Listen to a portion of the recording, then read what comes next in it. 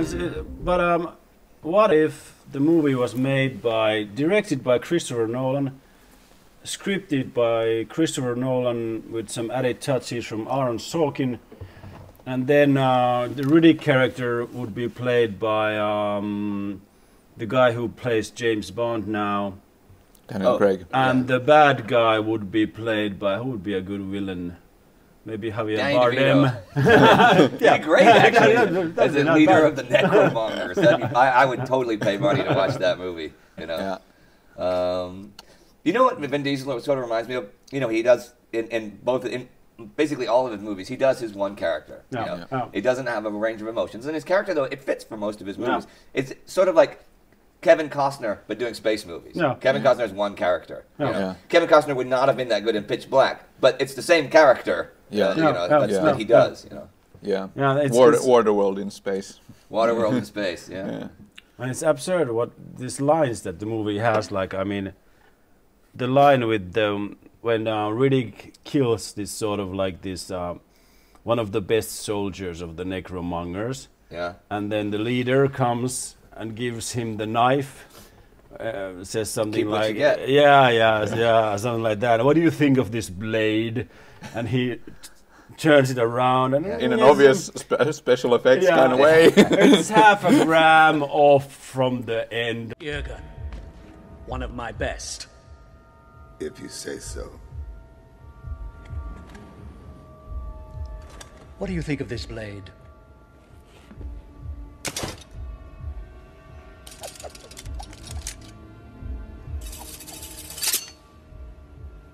I think it's a half gram heavy on the back end. You have to stamp it out that Riddick is so badass that But if I had like, been the guy that hand, if I handed you that blade and you did that and you said, "Oh, it's half a gram off from the balance," he'd be like, "Shut the fuck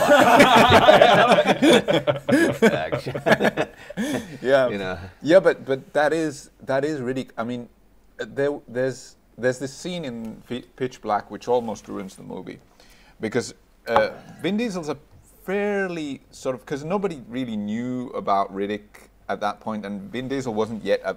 I mean, he was a star, but he Yeah. was he sort of created that from scratch. That's another role playing thing that he you, you can see that he's been thinking about this character a lot. yeah, sure.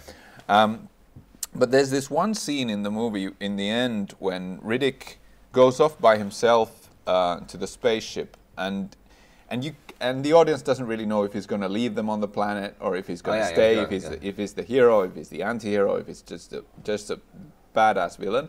Yeah. And then the uh, the pilot comes after him and then starts pleading with him, and he says that and tries to taunt him into coming back by saying that like something like, "Are you afraid?" And Diesel does this really hammy, the worst kind of uh, arrogant laugh. I promised him that we would go back with more light. Did you? What are you afraid? Me afraid?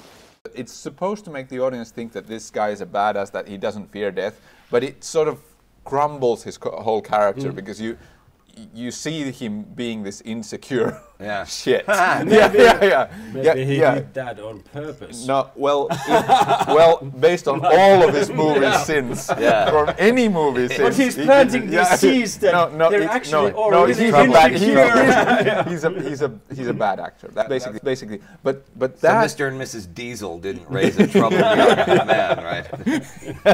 but but This is what is wrong with this macho culture. I'm trying to show you guys, but nobody will Son, when you grow up, you're going to be an actor and a sensitive one. Said no one ever about Vin Diesel. What do you like about Vin Diesel?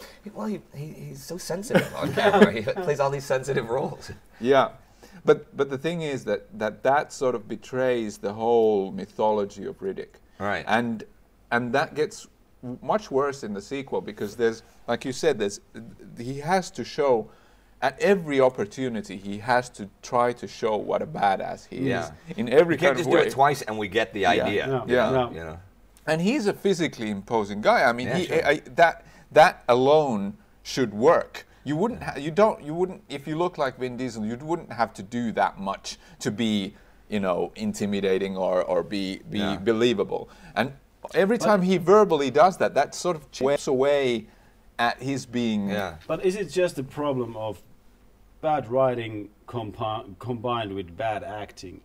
Because when like if you think about the scene in which James James Bond movie is it? It's in the um, The one with Harry Reeves. yeah, that one. Uh, That's excellent. It's so beautiful. Well, the thing is, the train behind James has collapsed, and he's sort of like this, and then he corrects his tie, and it's basically the same idea.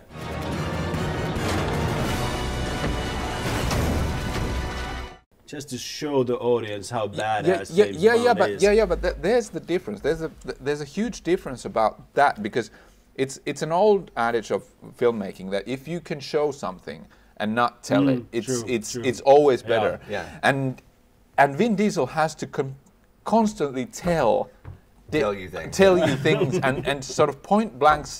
S- Smack it in your face that I'm tough, I'm, I'm I'm tough. really tough and I'm a really badass guy. And and Daniel Seriously, Craig, guys, I'm really tough. I'm a badass. I told you the Yeah. handle was off. And, and, and knife then I, I think that, that that is a that is a consequence of being a role playing nerd. Yeah. you have to. Yeah, you have, to. to know. explain the story. Yeah. Actually Yeah. explaining it. Oh, man, yeah, I should, we should have played some Dungeons and Dragons this trip. I should have stayed an extra day so we could play some D and D.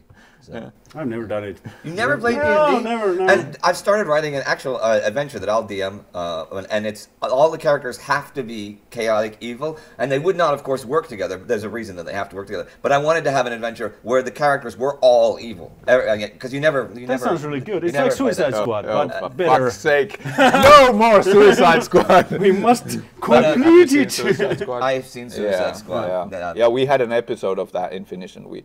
yeah. Oh, I hate that movie. Yeah, so I, I, much. she seems nice.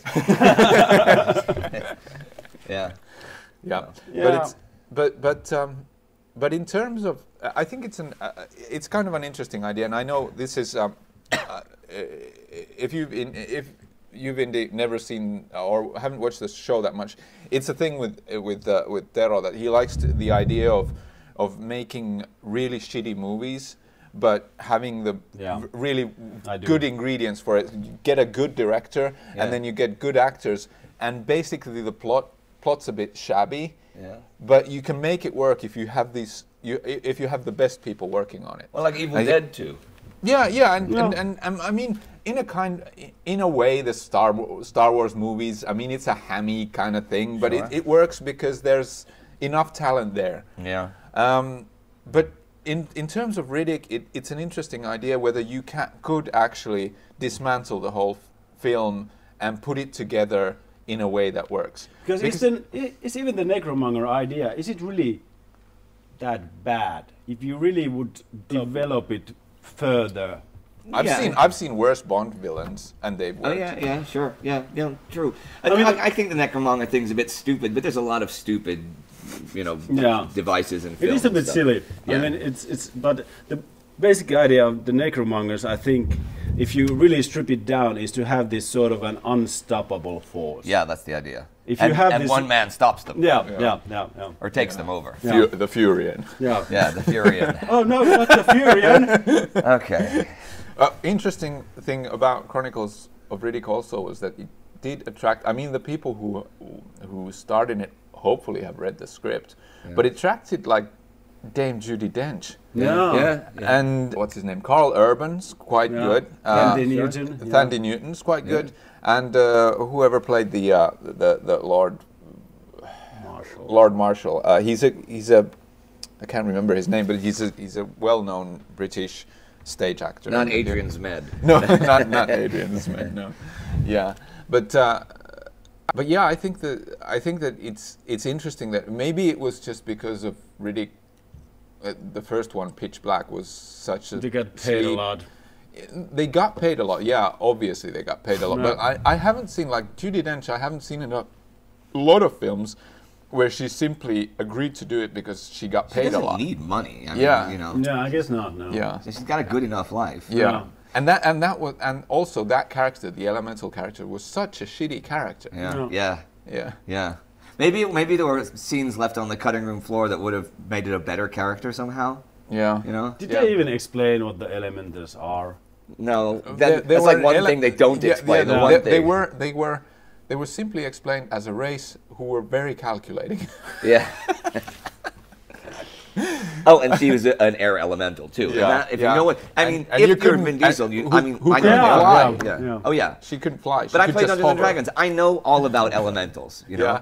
Yeah, yeah, but that's the thing also that, that about that movie is that it's clearly very influenced by Diesel because he he knows all about that stuff as well. Probably assumes But- everybody does. Yeah, yeah, that's the problem. It's a lot of people you know? don't. A lot of people, if you say what an air elemental is to a, a, somebody who hasn't played role-playing games or isn't into fantasy, it's not gonna. You know, you, you get a certain image in your head Mm. probably, but it's not gonna be like an instant. This is I know what this is about. Yeah. No.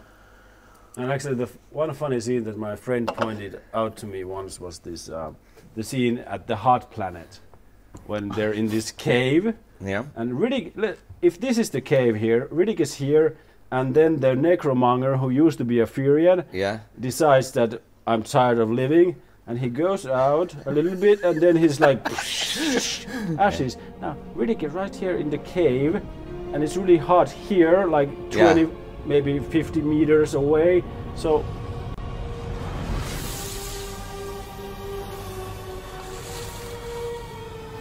the heat does not work this No. way. Yeah, the, sa- the same thing is, is when, when, when he does this heroic thing when he jumps with the cable into the sun to to to to to, to, res- to Does rescue the say girl. that in the script? Okay, then he jumps into the sun. Because basically, what he does to prevent himself from being burnt is take a bottle of water and pour it over himself, and that works. You know somebody's gonna try that in real life. Yeah, yeah. Yeah. I mean, I, I sort of, I have to admit that the first time I saw Riddick, Chronicles of Riddick, um, I thought that that sun planet was quite interesting. It's a- I- it's a cool ye- idea. Yeah, and, and, and the sun coming in and, and sort of incinerating every, everything. sure. But the problem was that, that exactly like you said, that if you're in the shade and it's like 300 degrees, it's not Right, going to help like you. there, that where that wall is. yeah. Uh, now I saw Chronicles before I saw Pitch Black. I saw them in the wrong order. Yeah. Which is interesting, since uh, you know, because I knew who all about who Riddick was from Chronicles, and then watched Pitch Black, and I think that made Pitch Black even more enjoyable. 'Cause I, you know, because I, Ah, yeah, yeah, you know, yeah, I 'cause get it. I, I thought it was better too, Yeah. but you know, Yeah. so, but that was interesting, you know, Yeah. watching sequels before the actual film that you, Yeah. you know, the original. That that actually, just a quick side note. I I watched uh, Trainspotting 2 last year. Yeah. And I really liked that movie. Yeah. Uh, it almost made my top 10 list. But we, ha- I've talked about this that if you saw Trainspotting 2 without having seen Trainspotting 1, Oh, would yeah. it make any No, sense who to are you? these guys? Yeah. You'd be like, I, I, why does that guy hate that guy? Yeah. What did he do? Did Yeah. I tell you about the time uh, Jari Hulkkonen told me that he hadn't seen Trainspotting? Oh yeah, yeah. Because we, were thinking we, we have to find somebody who, who uh, about our age who hasn't seen Trainspotting, and that that is not easy. Okay. Yeah, but are we uh, Done with the Riddick. are we done Okay, with yeah. Riddick? Is anyone ever done with the Riddick? Yeah. Um, so they made three of them. Do you think there's going to be another one? Well, uh, he he does love the character. Like Yeah. I said, I mean, Pitch Black is now being released, uh, or it was re-released as Chronicles of Riddick. Pitch Black. Uh huh. Okay. And then there's Chronicles Ah, of Riddick, okay. and then this had some, uh, I, I don't remember. Then he made a video game. It should Uh, be Fast and the Furious with Wh- which- Riddick. Riddick. no, uh, but, but there's, Yeah. there's, there's, the, the video game is called Chronicles of Riddick: Escape from Butcher Bay, Yeah. Okay. and then this third one was originally called Chronicles of Riddick something I don't know. Just, Electric just, And burn, now it's just just- burn it with Sun Planet Fire. you know, uh, I, on, my, on my World War One channel, um, I referred to actually not the Battle of Verdun, but the second, which was a much smaller Battle of Verdun, a year after Verdun. And I say that this week uh, uh, the uh, it was Verdun 2, Electric Boogaloo. I actually called it, that, called it on, on camera, and nobody complained because a lot of people say oh disrespectful. Not a single person wrote and said. But a lot of people thought it was really funny. No. And It should be called Verdun 2, Electric Boogaloo because everything that's the second should be Electric Boogaloo. Like if I had a kid named Indy Neidell, he wouldn't be Indy Neidell Jr. He'd be Indy Neidell 2, Electric Boogaloo. Man, that would be a cool name. That would be and a th- cool that, name. That in and of itself is a reason to have a kid. So That's a yeah, okay. So all you should. women out there that want to have kids with me, you know what we're gonna name it. Boy or girl, by the way. yeah.